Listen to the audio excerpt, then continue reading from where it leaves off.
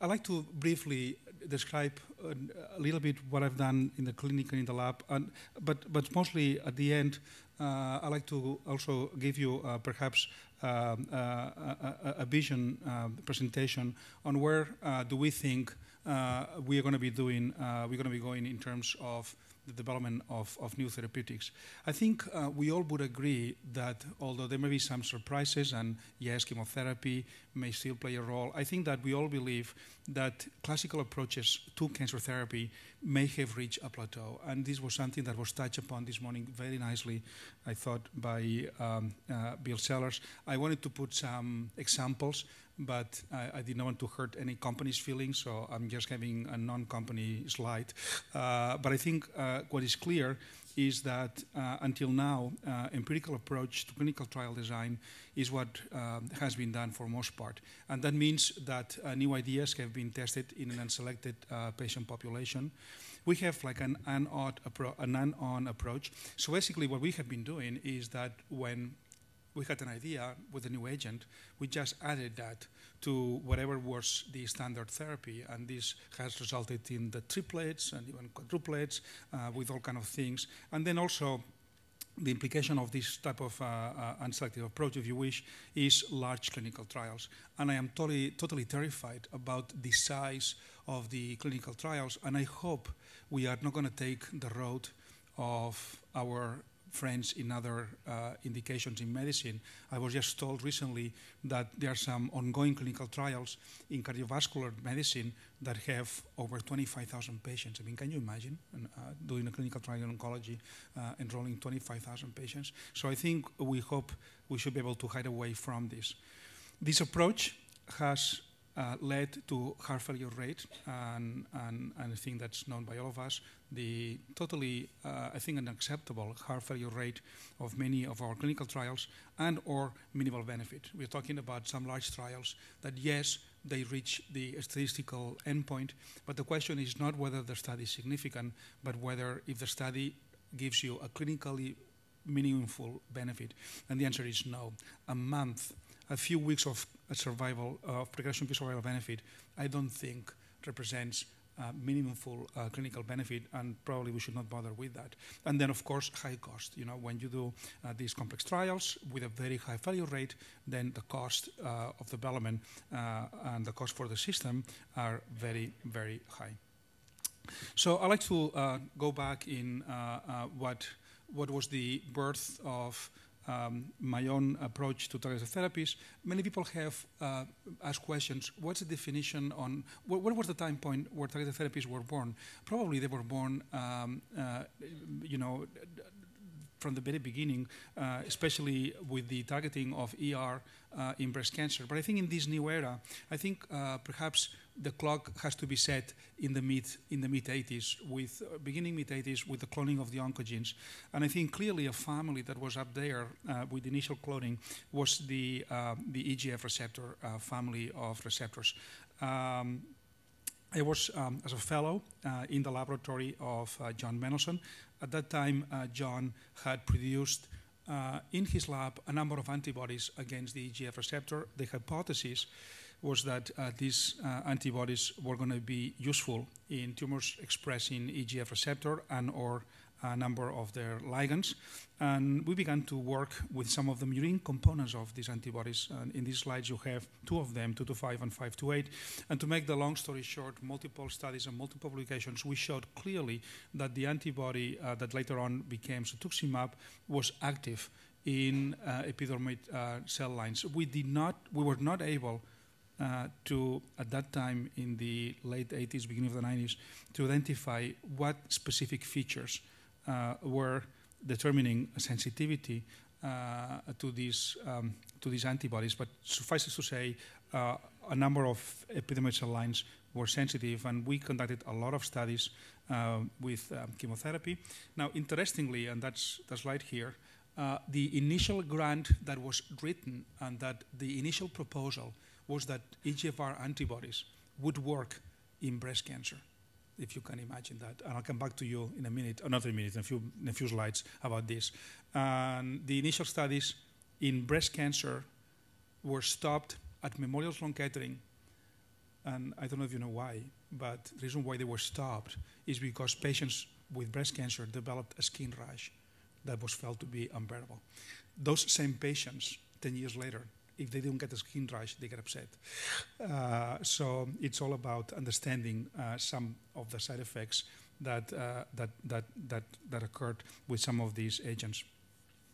And clearly, um, in some of the models, uh, such as squamous carcinomas of the head and neck and, and other models, if you gave appropriate doses of both of chemotherapy and antibodies against um, the EGF receptor, you could get uh, tumor eradication, such as in this model by, by Zhen Fan, uh, in, um, in, uh, that you can see that actually patient, the animals were being cured. So clearly this was hopeful. And that led to the initial phase one uh, clinical trials. Uh, uh, a warning sign: uh, this trial uh, was famous for a variety of things. Uh, a variety of things. The most famous one is it was a study that was sponsored by ImClone. Um, the most interesting scientifically thing is that we made in this trial a terrible mistake that delayed enrollment, that delayed the process for about a year and a half. We had in the laboratory um, uh, models data that suggested that if we reach it, uh, trough serum concentration of more than 20 nanomolar of the antibody, we would achieve maximal uh, inhibition of the receptors. And that was achieved at about a dose of, I don't know if there's a pointer here. Um, does anybody have a pointer?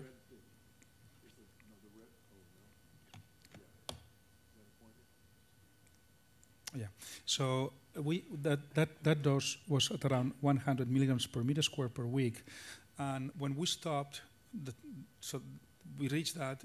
The antibodies were expensive to, to, to be to produce them, so we said we are happy. We have reached what we wanted to reach, and then there was a very smart pharmacologist that said, "Guys, you're making a mistake here. You have not reached uh, saturation of clearance. And there's a lot of EGF receptors in the body, and unless you achieve saturation of clearance, you're not going to be uh, in the right uh, concentration ballpark. And that basically what we did is that we had to reopen the trial, and then we were able to find the dose uh, that was in between here. That was the dose that's been moved forward. So um, clearly, the importance of paying attention to all the features um, of a given drug in a in a in a uh, you know in, in, early development uh, is critical. And I'm wondering how many good drugs uh, we have thrown away just by not doing the right phase one study and not doing and finding the right uh, uh, the right dose and schedule. Uh, we then move on, and, and, this was work that I did already in Barcelona. basically, uh, people felt at that time that head and neck cancer was not an indication where you could develop new agents. And yet, uh, the level of expression of EGF receptor in uh, head and neck tumors was very high, and we showed that there was a tight correlation between EGF receptor expression and activating MAP kinase uh, in our uh, tumor biopsies. And then we began a number of studies uh, with cetuximab uh, in head and neck, and uh, here is just the list. Uh, basically, we showed that uh, cetuximab was active in, in, in head and neck, uh, either alone or in combination uh, with chemotherapy, and this together with the data with radiation therapy led to the approval of cetuximab in patients with head and neck cancer. At the same time, um, the um, HER2 receptor also had uh, been uh, cloned by three groups, one of them uh, in Boston, and um, Genentech um, was beginning to produce antibodies against, against HER2. And the concept was quite similar, although we knew at that time less about the receptor biology of HER2 than EGF receptor. The concept of using an antibody to hit HER2 uh, was also uh, very, very attractive, and we began to work in the lab um, to um, develop antibodies against HER2. And uh, what would, would, would, the one that we worked initially was 4D5, and 4D5 uh, was the chimeric, uh, uh was the uh, uh, the murine precursor of of, of trastuzumab, and we started the initial phase one clinical trials back in 1992, and then the story of trastuzumab is well known to you all. Um, there's some interesting concept I'd like to, to put forward to. In the same time that 4D5 was produced, there was another antibody that had the similar inhibitory capacity than 4D5, and it was called 2C4. And that antibody was not developed, and that antibody now is pertuzumab, that you may be familiar with. So pertuzumab was in the same batch of antibodies that 4D5 was in the beginning. And uh, we began to see some uh, clinical responses also, not in the phase one, uh, in the phase two. And uh, I like to use this slide to make a point. Uh, this uh, was a patient of mine that was reported in the initial publication in 1996 of the phase two study. And interestingly enough, do you know how many responses did we observe in the phase one study with rituximab? Zero. And we had some hits of responses, but responses were not uh, durable. They did not fulfill any criteria.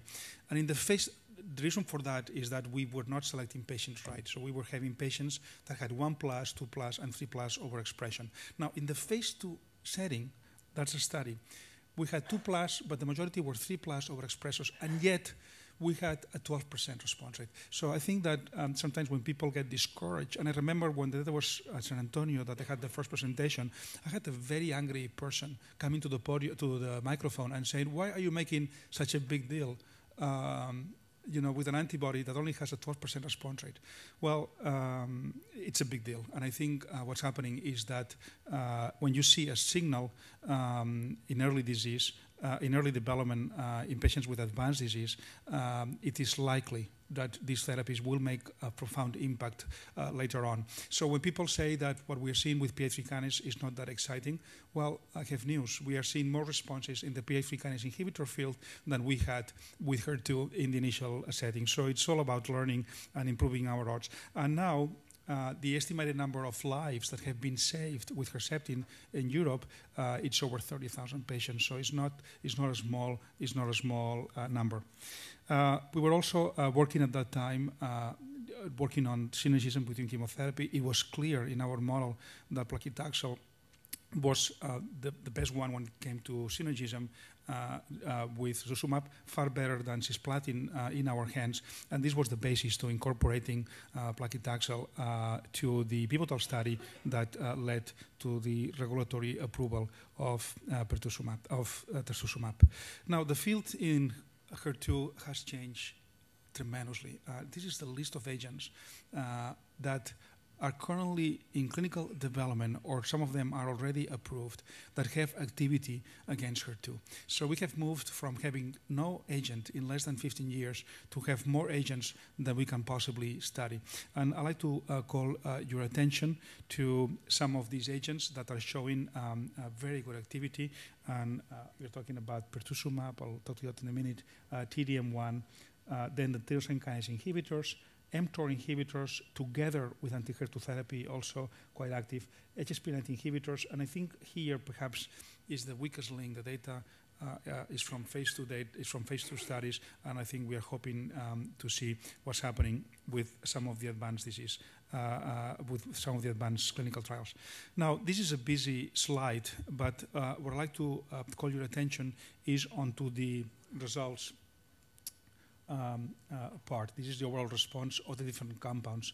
And if you look at TDM1, which you will see in a minute, in patients that are refractory to uh, trastuzumab, response rates uh, over 20% seen in multiple trials. Pertuzumab the same. Combination with uh, uh, uh um, with, uh, with with with lapatinib and and, and Herceptin also high clinical benefit. So I think and, and also new generation of of um, uh, uh, tyrosine kinase inhibitors. So I think we're talking about agents that have a good deal of clinical activity. Uh, we were very interested in working with uh, pertuzumab uh, because pertuzumab had a different mechanism of action than trastuzumab. Uh, the, the, crystallography of this has been, will, uh, has been uh, well figured out. Trastuzumab binds to the domain 4 of the extracellular portion of the receptor, and it interferes mostly with ligand-independent HER2 activation. On the other hand, pertuzumab binds to the domain 2. That's the dimerization domain where HER3 and HER2 get together. And pertuzumab is critically important in uh, inhibiting uh, ligand um, dependent activation. There was data that suggested that pertuzumab was active in patients uh, in tumors that were HER2 overexpressors, and yet the initial development of pertuzumab was done in low HER2 overexpressions, and there were no responses. The activity was very um, minimal, and we fought very hard to study pertuzumab in combination with trastuzumab in the advanced setting in patients that have failed uh, trastuzumab. And um, that's the, um, uh, uh, I, I won't go into the details, but basically we have seen a 25% response rate uh, in this uh, phase two clinical trial. What we did in that initial phase two trial that is to us quite interesting is that once we saw the responses with the combination, we addressed whether pertuzumab alone would be active.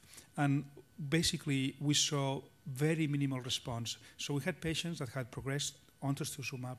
We stopped trastuzumab. We added pertuzumab, and response rate was very low. Then what we did as part of the same study was a new cohort, uh, patients that had progressed on trastuzumab and had progressed on pertuzumab.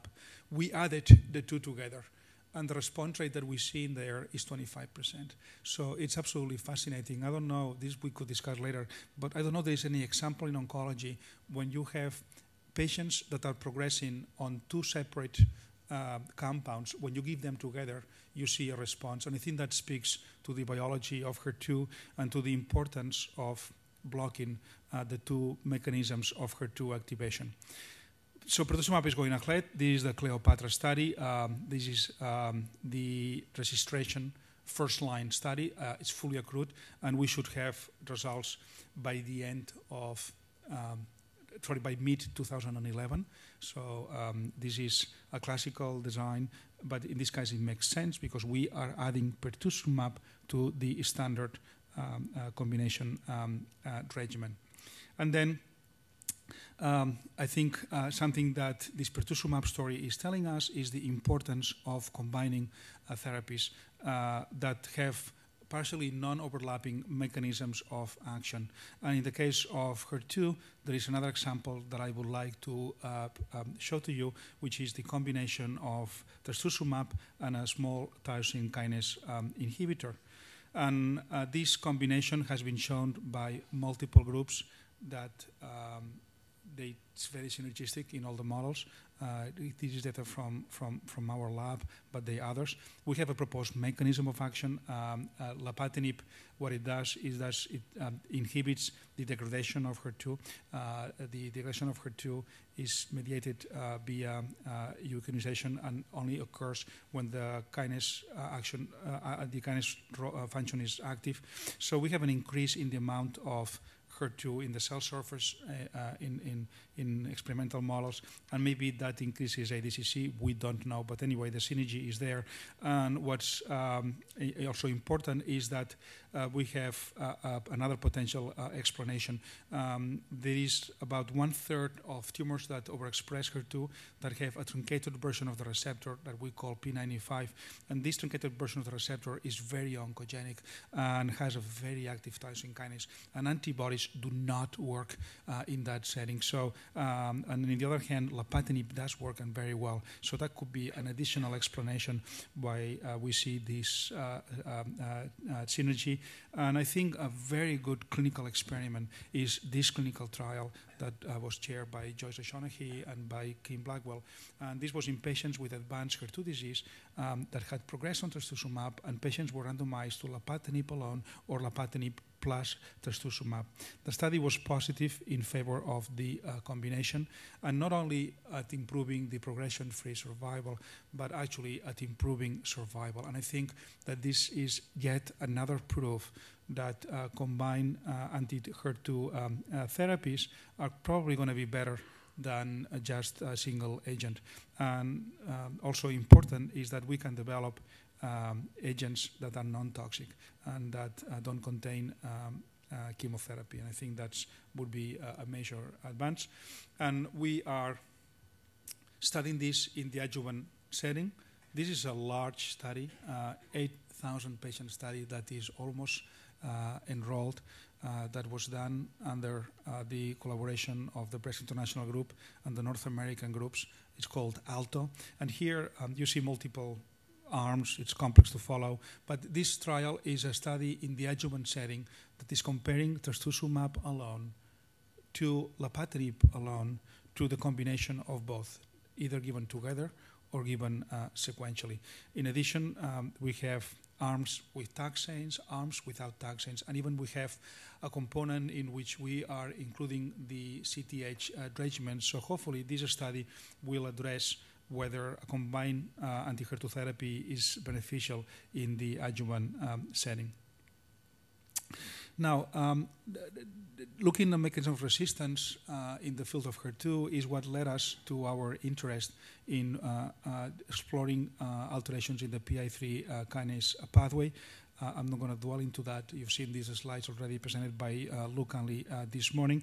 But the, the point is that in patients with HER2 overexpression, and this is an outdated slide from the one that Lew Cantley presented this morning, about 20% of patients that are HER2 positive uh, they do um, have uh, mutations on the PI3 kinase gene. And there is data in the clinic from the group of René Bernards and also from our own group that suggests that if you are a HER2 positive tumor, uh, that has a PI3 kinase mutation, um, there will be an increased resistance to upstream blockade with anti-HER2 agents. So I think clearly that's a mechanism of resistance that plays a role in the clinic. And uh, this is just to uh, show some of the data from uh, one of the uh, uh, investigators in my lab, and that's uh, Pete Eichhorn, who came from René Bernard's lab initially. And this is working, this is data showing that in cell lines with some of the um, mutations on the PI3 kinase gene, as you hear, as you see here in the in the bottom, these cells are resistant to trastuzumab and to lapatinib when you compare them to the uh, uh to the parental uh, control uh, cell lines. So now the good news, and you've heard also this morning.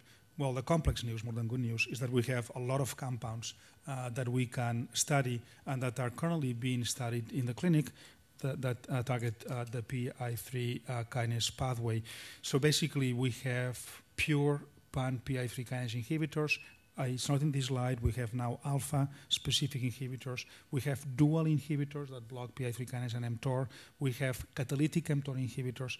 Uh, we have AKT inhibitors on top of the rapalogs, uh, such as everolimus.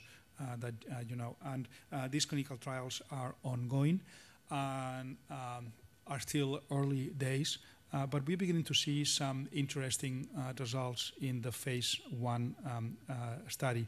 This was presented at ASCO this year, and uh, what we're looking here as at the metabolic response uh, that we see with these uh, um, uh, patients, and we do see nice metabolic responses. Now, is this a surrogate effect of the drug getting there, or is that an indication of anti-tumor activity? Well, that's a very good um, uh, item for discussion, but it's important that those patients that have a measurable response by conventional RECIST criteria, all these patients have a PET response. So one of the things that we've been talking um, is that perhaps PET could be used. Well, PET is fundamentally important for these studies, and we should incorporate imaging uh, into all of them. But then also maybe PET could be used as a biomarker of enrichment, and perhaps before randomizing patients into receiving uh, uh, therapy with a PI3 kinase or not, maybe what could be done is um, first enrich and only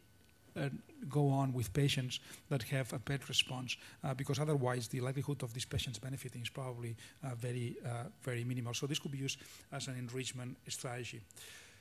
There are some responses that we don't understand or that are difficult to understand, such as the one that Lew Cantley presented on the exact clinical trial. And this was the patient with triple negative breast cancer that had a KRAS mutation. Although, uh, if you think about it, um, uh, uh, you know, KRAS signals via PI3 kinase, and maybe it's not the same uh, breast cancer with a KRAS mutation that the, that the colon cancer with a KRAS mutation or a lung cancer. But we also are beginning to see responses in patients with PI3 kinase mutation. And this is a patient from ours. And uh, here, what we have been is have been very careful at doing biopsies. And in this particular patient, we have good tumor biopsies before therapy, and also we were able to obtain a tumor tissue uh, when the patient progressed uh, from therapy. So I think these type of resources should be very valuable to identify uh, what are the mechanisms of acquired resistance, and we're very excited about about about this.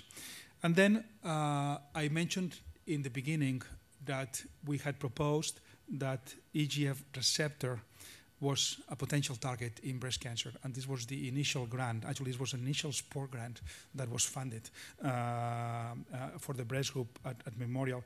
And the question that whether EGF receptor plays a role in breast cancer, I think, is an important one. Uh, we know that there is a subset of tumors that express EGF receptor. These are the basal-like, and there have been some studies that had suggested that uh, anti-EGFR therapies may play a role in uh, breast cancer. There was a study by Lisa Carey that was difficult to interpret just because um, what she did uh, is that patients were randomized to receive cetuximab plus carbo versus cetuximab alone, and, and that is difficult to really um, get a feeling. And then there was a study by US Oncology that was led by Joyce, in which you had a subgroup of patients that you gave cetuximab uh, together. I believe it was carbo, carb, yeah, irinotecan, and yeah, and also in, in, in just a group of patients, you did have uh, in benefit uh, with the addition of cetuximab, which was quite interesting, we thought. So building on this, we conducted the Bali study. Uh, this is a study that we presented at the ESMO meeting about two weeks ago. Uh, patients with triple negative breast cancer uh, were randomized to receive cisplatin alone or cisplatin plus cetuximab. And this is what we observed. So we observed a significant improvement in progression-free survival in this patient population. Now, uh, this study has a number of issues that are important. First of all, is randomized phase two, so it's not a randomized phase three. Second, we were surprised and very surprised by the poor performance of the control group. So as you see, the control group uh, only had a progression-free survival of 1.45 months. So although we had more than doubling, um, uh, uh, we had questions on, on, on, on what to do with this. And also response rate, we doubled. It went from 10% to 20%. I do think, though, that it would be worthwhile to continue to explore uh, anti-EGFR therapies in triple negative breast cancer. I think there is a signal. This is a signal as strong as you can get. So I think um, this is something that uh, we feel uh, uh, pretty positive. So let me uh, move to the second part of, of my talk. I think, um, wh where are we right now? I think that we are at a point in the field where we have all these great discoveries, uh, and um, clearly uh, the gap between the uh, lab and the clinic is, is, is narrowing. We recognize that our research is increasingly interdisciplinary and that we have now the capacity to implement and apply all these new technologies. Uh, so I think that's important. And there is also a theme here is that there is increasingly team science approach to cancer. And I think the stand-up to cancer is a good example of uh, this approach. And I think it is obvious to this audience that we understand increasingly the, the, the, the wiring diagram uh, uh, of, the, of, of, of, the cancer cells. And clearly the promise here is the uh, go in the direction of the right drug uh, for the uh, right uh, tumor. And I think we are here at an unbelievable um, uh, uh, situation. I think what's happening in Boston and what's happening in particular at the MGH uh, is, is fascinating. So the stories continue to pile up. Um, in addition to the well-known story with the EGF receptor uh, mutation and, and, and uh, EGFR tyrosine kinase inhibitors, uh, you've seen the story last week in the New England Journal of Medicine with ALK and also the story uh, emerging in BRAF melanoma. So clearly, I think uh, there are increasing examples that uh, this is uh, definitely a, a, possibility to advance in this direction. And we have hundreds of new anti-cancer agents. We have the need to match the right drug to the individual uh, patient. And we have a dual challenge, which is to understand better the genetics of each cancer and then change the way in which we test uh, new drugs. And I mentioned already some of the examples, and some of the examples have been mentioned. So this is just a laundry list of the agents. Uh, the point of this slide is that we are not going to get bored um, with, uh, for lack of ideas. So sometimes when it happens, when you have some of these fellows come to you and said, I am very worried in whether I will have an opportunity to contribute. What do you think? And you look at them and say, what are you talking about? Uh, you know, we, we need 50 like you. Uh, so I think this is uh, clearly the, the thing. Now, matching the right drug uh, with the right cancer, I think uh, uh, clearly uh, this morning we heard about the cell line encyclopedia, and, and here uh, I'd like to uh, show you um, the concept that Cyril Benes is uh, conducting uh, at MGH with the Center for Molecular Therapeutics. And I think clearly these robotic screens of a large database of, of cell lines for drug sensitivity and then identify biomarkers for clinical trials is uh, critically important. It worked beautifully uh, for ALK and it's going to work uh, hopefully uh, uh, um, the same way for many other agents. So we can, based on screens, and also I think the concept of developing screens based on primary tumors growing in mice is also very, very important. But we have the screens, we'll have perhaps the right idea, we will kind of guess which drugs can work better uh, against which types. But I think what's critically important is the concept of testing the each uh, patient uh, tumor for the right biomarker of response and uh, for the right uh, genotype. And that's why important that we genotype every cancer in real time. And I think this today means snapshot. It will mean other things with new sequence, with next sequence a few months from now.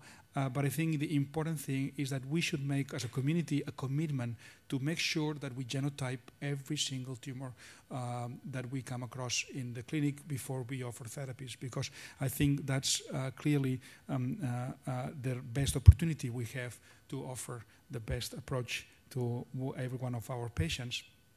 And then the importance of monitoring uh, tumors during therapy, and this is going to be uh, uh, fascinating. Uh, there are many platforms. I am particularly very excited about the platform that that Daniel Haber and, and, and, remember are putting together, the circulating tumor cell platform with its multiple versions. I think now every time this is like this the days of the jukeboxes. They keep on getting smaller and they play better. Um, so, but the promise of bringing this technology to the to the to, to, to the clinic, uh, I think it makes us all uh, very excited. And this is uh, work um, that was published uh, uh, a few years ago. And the point here is that you can, in the blood, identify mutations uh, that occur even before the patients have failed uh, from a specific therapy. So I think this opportunity of monitoring is absolutely um, is absolutely fascinating, and we should incorporate that into clinical trials.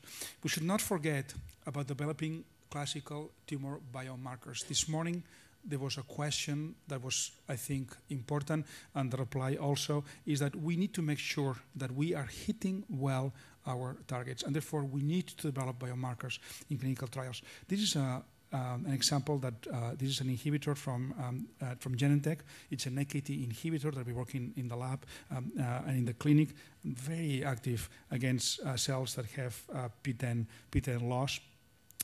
And uh, I think our challenge will be when we go in the clinic, these compounds will have toxicities. Uh, uh again, it's not going to be like like like Gleevec.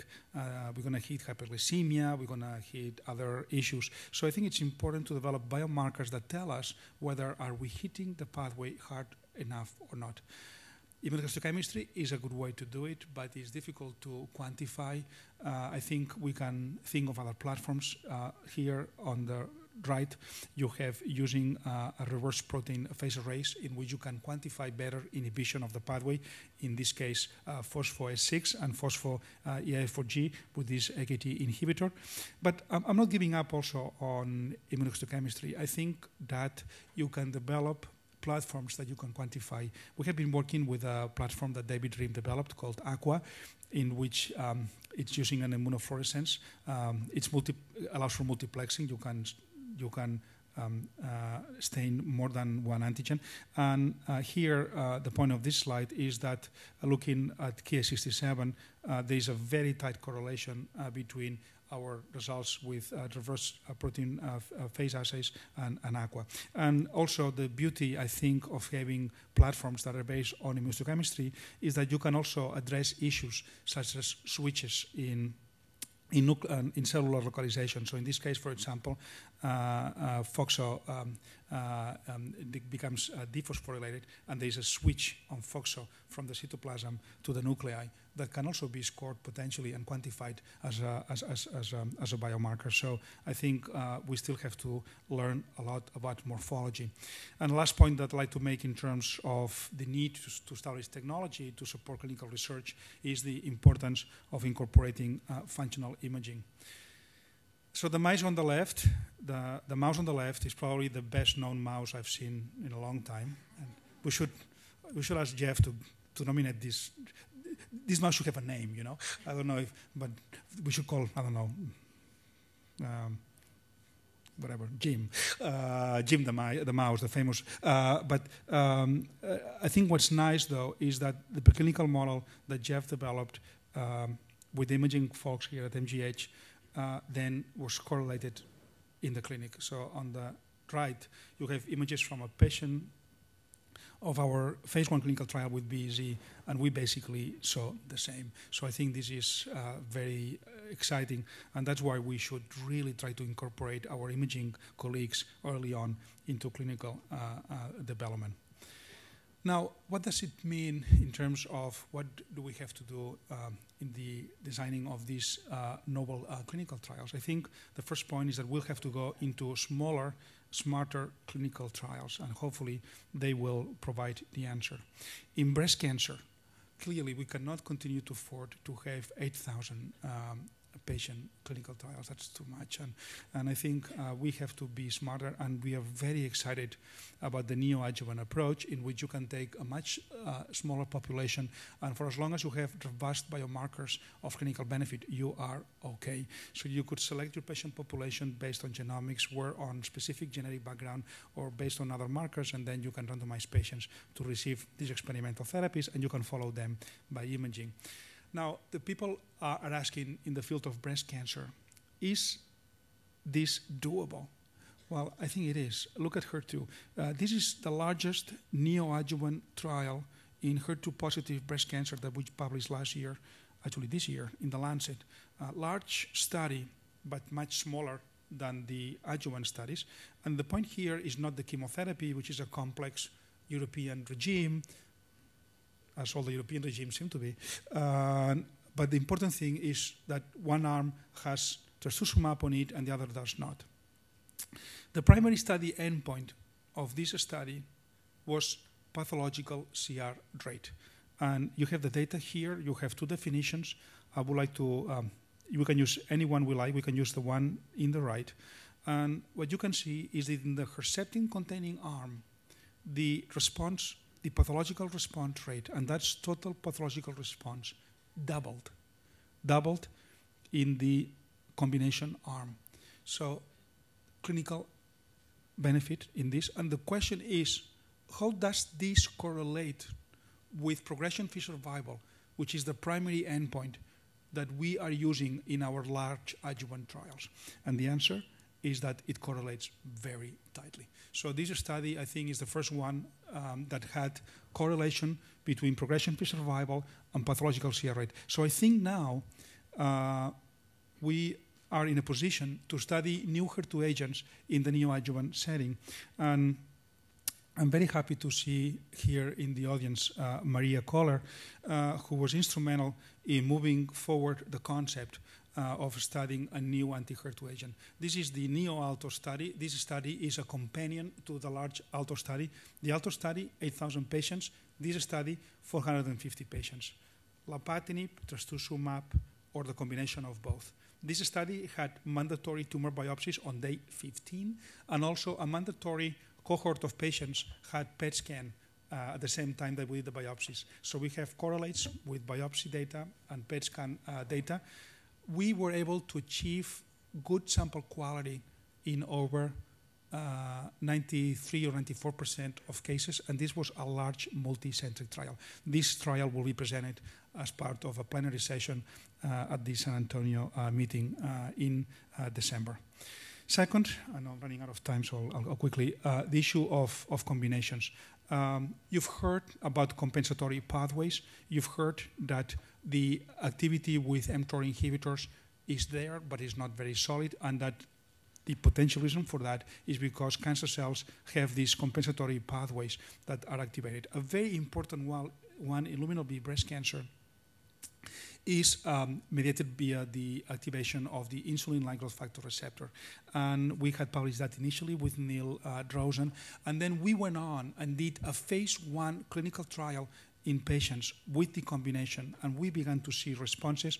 This was an oral presentation at ASCO last year. And please draw your attention to the yellow line. These are the patients in the phase one study that had luminal B breast cancer, what we call the ER high proliferation. We saw responses by classic RECIST criteria.